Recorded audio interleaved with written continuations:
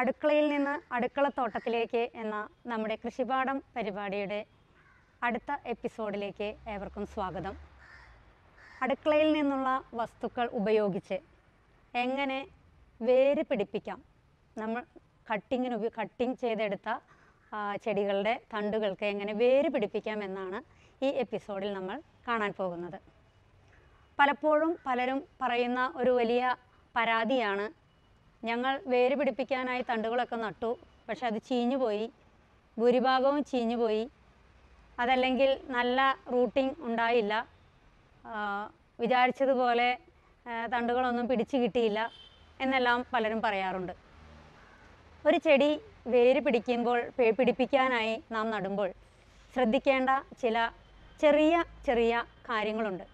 ആ ടിപ്പുകളൊക്കെ ശ്രദ്ധിക്കുകയാണെങ്കിൽ നല്ലതുപോലെ ചെടികൾക്ക് വേര് പിടിപ്പിച്ചെടുക്കാൻ നമുക്ക് സാധിക്കുന്നതാണ്.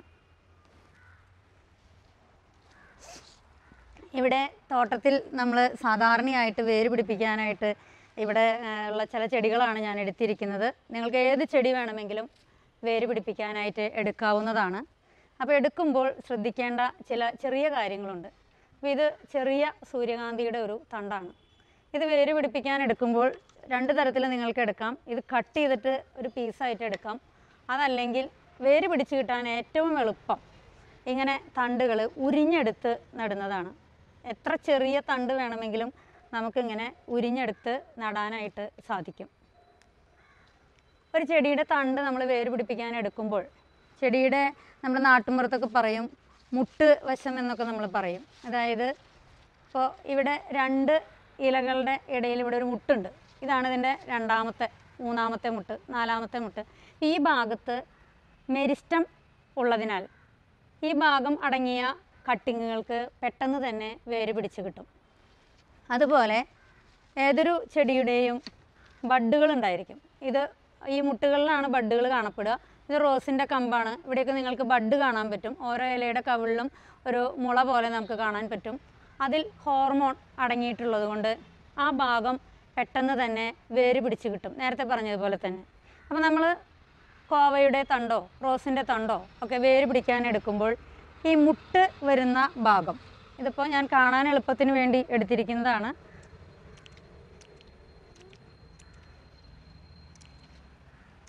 ഈ മുട്ട് വരുന്ന ഭാഗം മണ്ണിലടിയിൽ പോകണം. ചുരുങ്ങിയത് ഒരു മുട്ടെങ്കിലും മണ്ണിനടിയിൽ വരുമ്പോഴാണ് പെട്ടെന്ന് നമുക്ക് വേര് പിടിച്ച് കിട്ടുക. മൂന്നോ നാലോ മുട്ടുകളടങ്ങിയ കമ്പുകളായി പച്ചക്കറികൾ വേര് പിടിപ്പിക്കാൻ നമുക്ക് ഉപയോഗിക്കാം. പ്രത്യേകിച്ച് നമ്മൾ കോവയുടെയൊക്കെ തണ്ട് നടുമ്പോൾ ഒരു നാല് മുട്ട അല്ലെങ്കിൽ മൂന്ന് മുട്ടൊക്കെ ഉണ്ടെങ്കിൽ സുഖമായിട്ട് നമുക്ക് വേര് പിടിച്ച് കിട്ടും. അപ്പോൾ ഇവിടെ ഞാൻ മുട്ടുകൾ ഇവിടെ ഒന്ന് രണ്ട് മൂന്ന് നാല് അഞ്ച് മുട്ടുകൾ നിങ്ങൾക്ക് കാണാൻ സാധിക്കും. അപ്പോൾ ഇങ്ങനെ എടുത്തു കഴിഞ്ഞു കഴിഞ്ഞാൽ നമ്മളതിന്റെ ഇലകളും അനാവശ്യമായ ചെറുതണ്ടുകളുമൊക്കെ മുറിച്ച് കളയുക.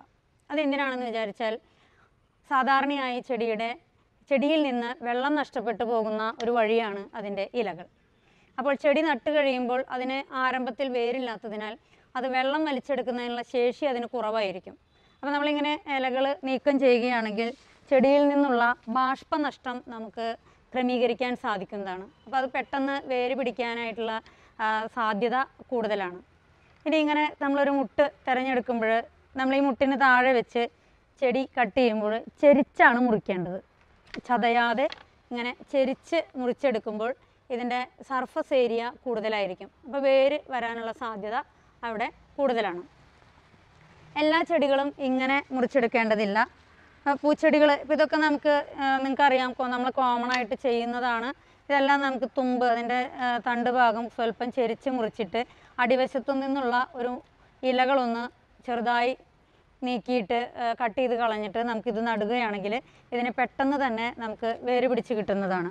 അതുപോലെ ഇത് ഞാൻ നേരത്തെ പറഞ്ഞതുപോലെ തണ്ട് മുറിച്ചെടുക്കാതെ ഇതിന്റെ കമ്പ് ഈ ഇലയോട് ചേർന്നുള്ള കമ്പിന്റെ ഭാഗം ഇങ്ങനെ പതുക്കെ ഉരിഞ്ഞെടുത്ത ശേഷം നമുക്ക് നടുകയാണെങ്കിൽ ഇത് പെട്ടെന്ന് നമുക്ക് വേര് പിടിച്ച് കിട്ടുന്നതാണ്. ഈ ഇല കളഞ്ഞിട്ട് ഈ തണ്ട് മാത്രം നമ്മൾ ഇങ്ങനെ വേർതിരിച്ചെടുത്ത് നമുക്ക് നടാവുന്നതാണ്. വളരെ ചെറിയ തണ്ടുകളാണെങ്കിലും ഇങ്ങനെ കവിളിൽ നിന്ന് ഉരിഞ്ഞെടുക്കുന്ന തണ്ടുകളുണ്ടെങ്കിൽ വളരെ എളുപ്പത്തിൽ തന്നെ നമുക്ക് വേര് പിടിച്ച് കിട്ടുന്നതാണ്. ഇങ്ങനെ. ഇതിന്റെ എല്ലാം അടിവശത്തെ ഇലകൾ നീക്കിയിട്ട് വേണം മാറ്റിയിട്ട് വേണം നമ്മൾ നടാനായിട്ട്. ഇതുപോലത്തെ തണ്ടുകളിലൊന്നും എല്ലാ ഇലയും നീക്കിക്കളയണമെന്നില്ല. പക്ഷേ മണ്ണിനടിയിൽ പോകുന്ന ഇലകൾ നീക്കിക്കളഞ്ഞില്ലെങ്കിൽ അത് ചീയുന്നതോടുകൂടി ചെടിക്ക് ചീച്ചൽ ഉണ്ടാകാനായിട്ട് സാധ്യതയുണ്ട്.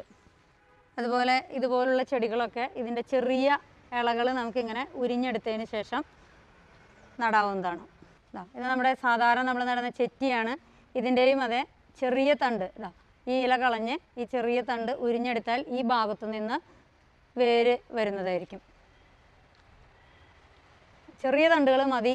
വേര് പിടിപ്പിക്കാൻ ഇതാണ് ഏറ്റവും എളുപ്പം. ഇനി മറ്റൊരു കാര്യം. ചെടികൾ നമ്മൾ വേര് പിടിപ്പിക്കാനായിട്ട് നടുമ്പോൾ അത് ചീഞ്ഞു പോകുന്ന ചീഞ്ഞു പോകാനുള്ള ഒരു പ്രവണതയുണ്ട്. ഫംഗസിന്റെയും ബാക്ടീരിയയുടെയും ആക്രമണം മൂലമാണ് ഇത് മിക്കപ്പോഴും ചീഞ്ഞു പോകുന്നത്. അപ്പോൾ നമ്മൾ ഉപയോഗിക്കുന്ന വേര് പിടിക്കാൻ പിടിപ്പിക്കാനായിട്ട് ഞാനിവിടെ കുറച്ച് അടുക്കളയിൽ നിന്നുള്ള വസ്തുക്കളും അല്ലാത്ത ഉള്ള- വസ്തുക്കളും ഒക്കെ എടുത്തു വെച്ചിട്ടുണ്ട്. ഇതിൽ പലതും രണ്ട് തരത്തിലാണ് പ്രവർത്തിക്കുന്നത്. ഒന്ന് ആ ചെടിയുടെ കട്ടിങ്ങിലുള്ള ബാക്ടീരിയകളെയും ഫംഗസുകളെയും അത് അതിനെ ഇല്ലാതാക്കുന്നു. ആന്റി ബാക്ടീരിയൽ അല്ലെങ്കിൽ ആന്റി ഫംഗൽ പ്രോപ്പർട്ടിയുള്ള ചെടികളാണ് അല്ലെങ്കിൽ പ്രൊഡക്റ്റാണ് ഇങ്ങനെ കാണിക്കുന്നത്.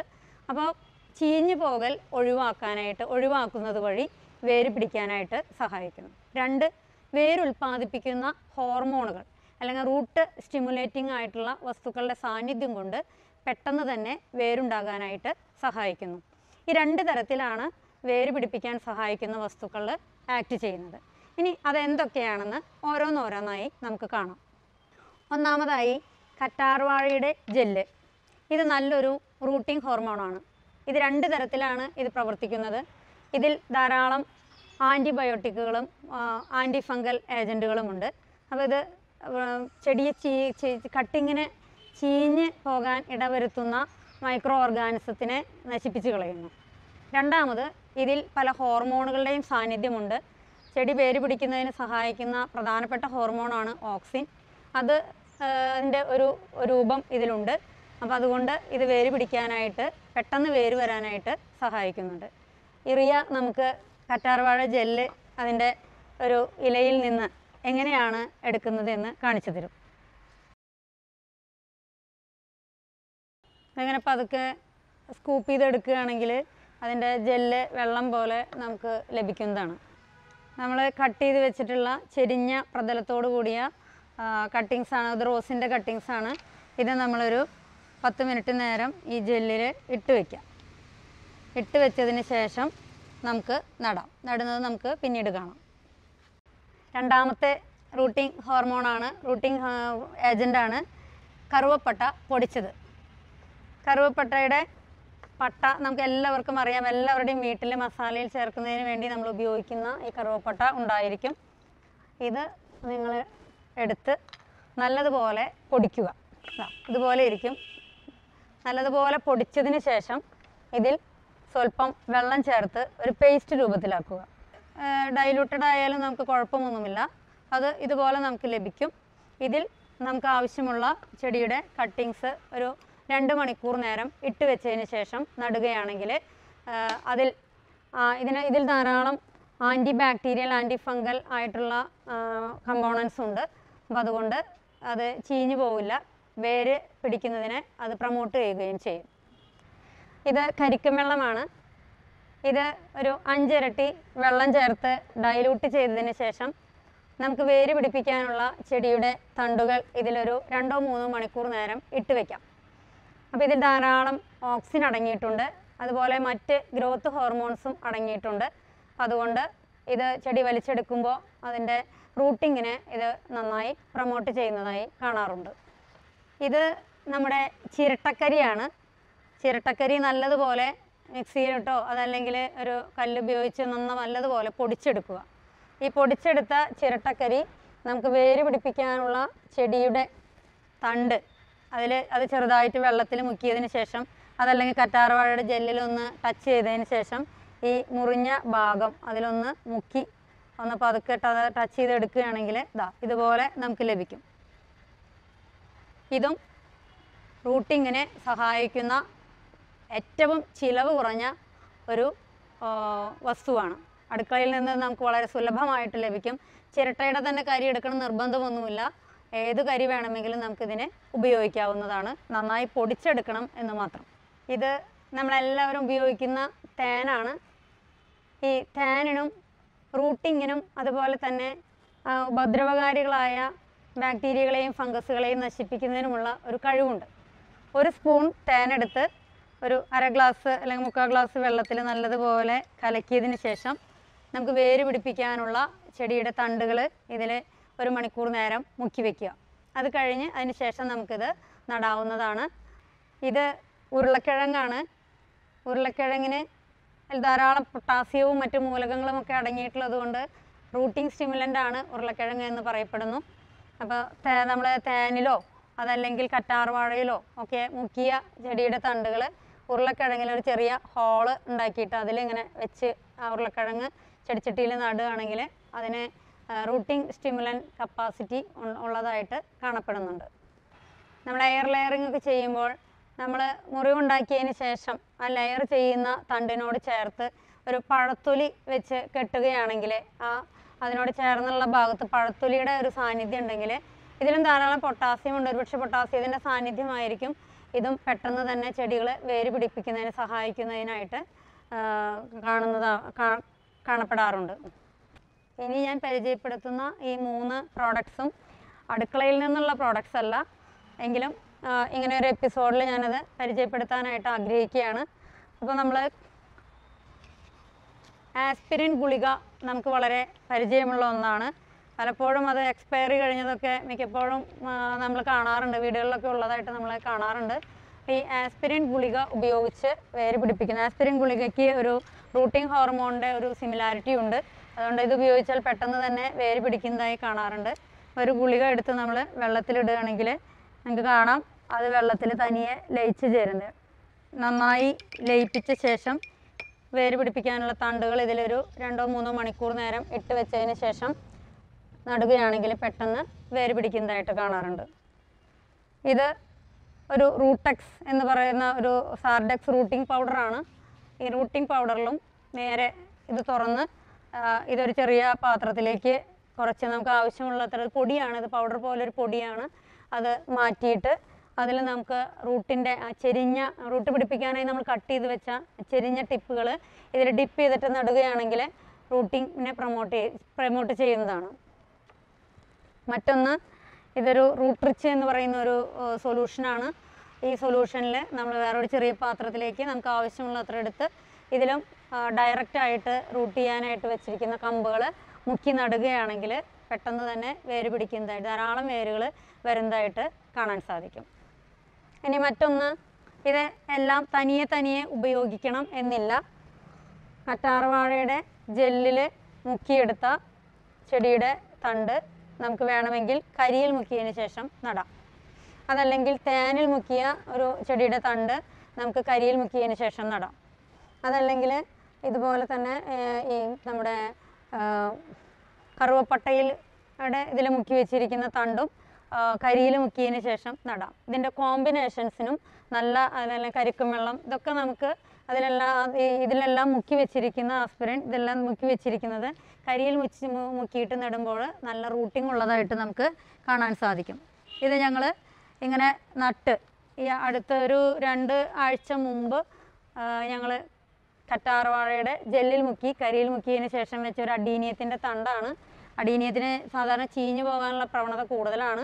പക്ഷേ ഞങ്ങൾ നട്ട ഒരുവിധ എല്ലാ തണ്ടുകളും തന്നെ ഞങ്ങൾക്ക് വേര് പിടിച്ച് കിട്ടി. ഇത് രണ്ടാഴ്ച മാത്രം പ്രായമായ ഒരു തണ്ടാണ്.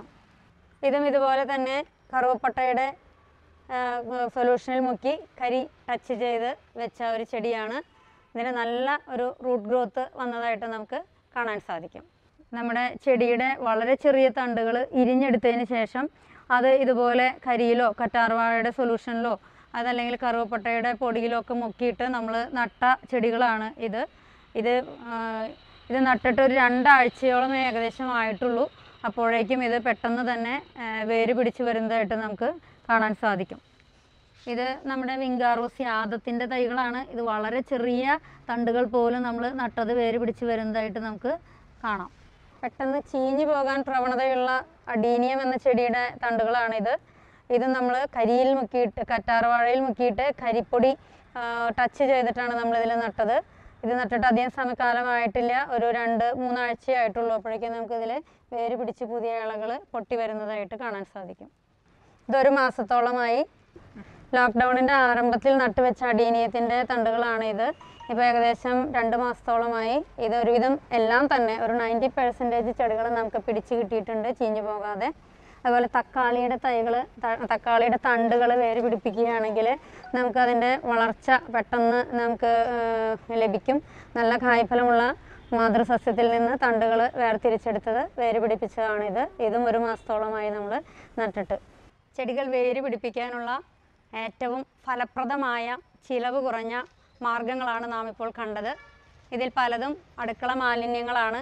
അതായത് അടുക്കളയുടെ വേസ്റ്റായ കരി അതുപോലെ നമ്മുടെ ഇലകൾ പഴത്തൊലി പിന്നെ നമുക്ക് ചിലവില്ലാതെ പറമ്പിൽ വളർത്തിയെടുക്കാവുന്ന കറ്റാർവാഴ പിന്നെ അടുക്കളയിൽ നിന്ന് നമുക്ക് ലഭിക്കുന്ന മറ്റ് പ്രോഡക്റ്റുകളായി നമ്മുടെ കറുവപ്പട്ട തേൻ കരിക്കും വെള്ളം ഇതെല്ലാം തന്നെ നമുക്ക് സംലഭ്യമായ വസ്തുക്കളാണ്. നമ്മുടെ വീട്ടിലെ വസ്തുക്കൾ ഉപയോഗിച്ച് നമ്മുടെ കാർഷിക ആവശ്യങ്ങൾക്കുള്ള അതല്ലെങ്കിൽ നമ്മുടെ തോട്ടത്തിലുള്ള ചെടികളൊക്കെ വേര് പിടിപ്പിക്കാനായിട്ട് നമുക്ക് പരിശ്രമിക്കാം. എല്ലാവർക്കും എല്ലാ ആശംസകളും നേരുന്നു. താങ്ക്